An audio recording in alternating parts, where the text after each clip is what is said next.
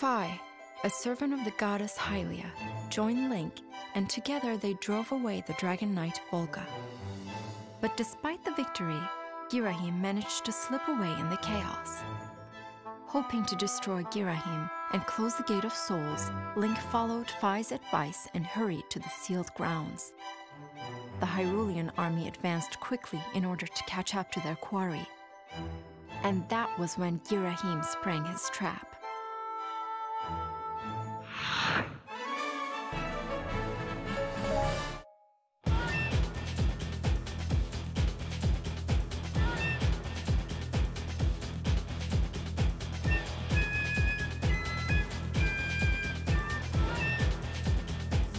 も変わってさらふっふっふっふっふっふっ